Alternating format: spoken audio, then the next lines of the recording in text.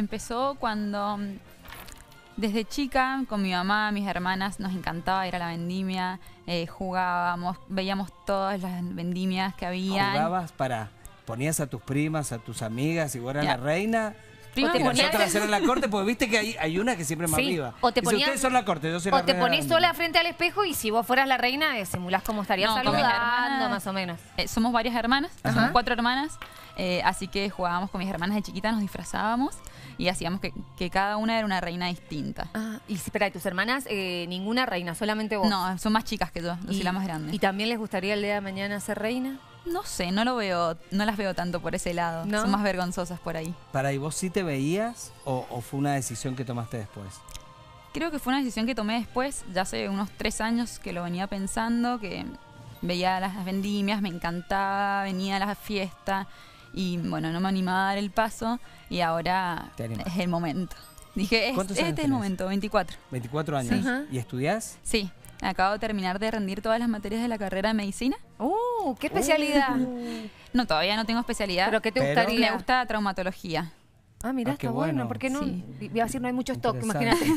no hay muchos traumatólogos. Y menos mujeres. Ajá, Claro. qué bueno. Sí, son la mayoría Claro. todos hombres. Me encanta, me encanta eso. Vos sabés que yo siempre insisto, esto no quiere decir que si tenés 18 años no seas una reina digna de ser reina, pero yo siento que cuando ya están en la universidad, cuando ya tenés un poquito más de edad, como, en- como en el caso de ella, 22, 24, estás plantada de otra manera. Tienen otra, tienen Te- otra te-. Puede ser. frente, frente a la gente.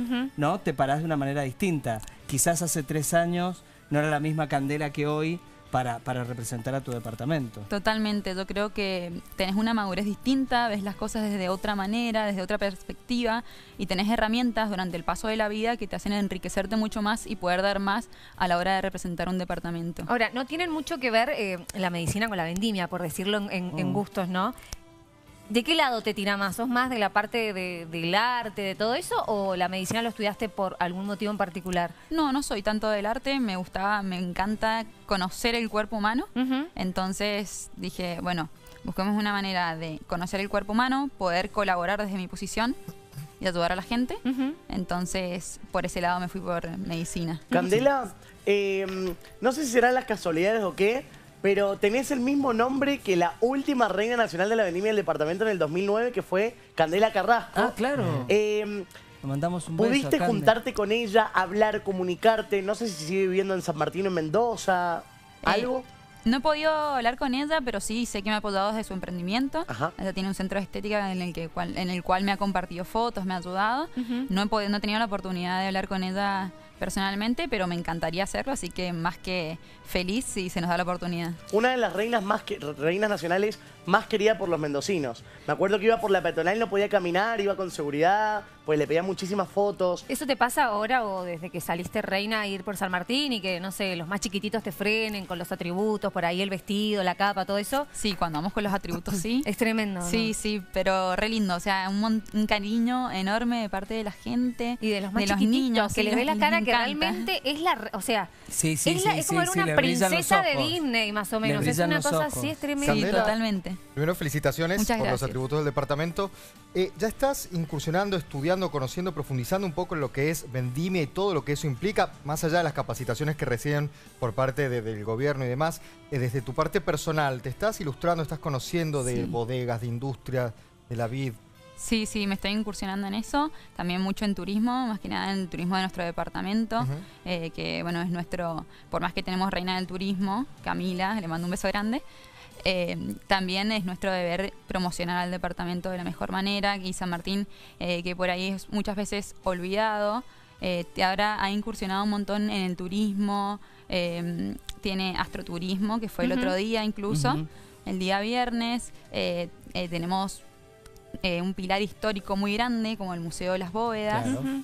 Y Muy sanmartiniano, justamente. sí, Rutas del Bonarda, obvio nuestro vino Claro. emblema. Ay, qué bueno. Sí, un- Tiene- el departamento tiene todo un programa Sí, sí, con sí. respecto al tema Ujú. Bonarda.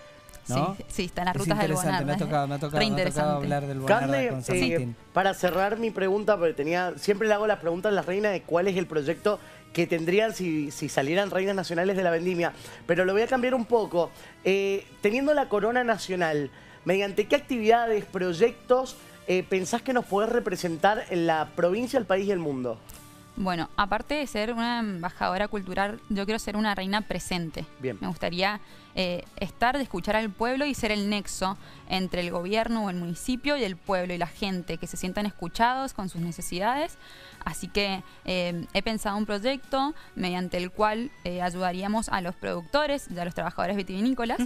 Se llama Enlace Vitivinícola, mediante el cual, eh, mediante la creación de un sitio web, se puede eh, adquirir trabajo de parte tanto del, del que necesite un trabajo como del productor o dueño de finca que esté buscando gente para trabajar. Que justamente eso veía hoy en, en una nota de ustedes que decían que faltaban cosechadores. Sí. Ajá, sí. Eso eh, está pasando en todos lados, es una problemática que me parece que está bueno ponerla como pilar central Claro, Ujú. claro. y más que nada ahora en, En, en- época de en vendimia. época de vendimia. cosecha y todo eso, total. Qué bueno utilizar la tecnología, ¿no? A favor de... Claro, entonces ¿No? es algo que Es no está muy impuesto, pero está bueno y a través de distintas capacitaciones de distintas entidades que el- ofrecen capacitaciones gratuitas, muchas veces no son eh, Sí, no, no son difundidas, claro. entonces no hay mucha gente, eh, pero están gratuitas y están ahí siempre y, Y es- brindan muy buena capacitación Y tendrían difusión a través de esta a través de esta red. Y a su vez incorporar un parte una parte médica sería a través de un certificado de apto psicofísico Ajá. para que tanto los trabajadores como los dueños y productores puedan quedarse tranquilos y sacar beneficio de que esas personas están bien cuidadas Están y que cuidadas. pueden realizar las labores necesarias. Que tienen un respaldo, un seguro. Totalmente. Y para fomentar las relaciones laborales Bueno, en blanco. Ahí mezclaste tu carrera con perfectamente con claro. el rol de embajadora, ¿Cómo, de reina. ¿Cómo te llevas con las mascotas? Bien, me encantan. ¿Te gustan? Sí, tengo dos perritas. ¿Te llevas un bolsón de alimentos para donarlo a quién? Qué bueno, a sus patas en nuestras manos. Es una sociedad de San Martín que se encargan de ayudar a todo el este, así que mm, para ellos va, hablé con ellos eh, anteriormente, me dijeron que estaban necesitando, así que mm, me parece una buena forma de ayudarlos, poder brindárselo a ellos para que lo, lo utilicen de la mejor manera.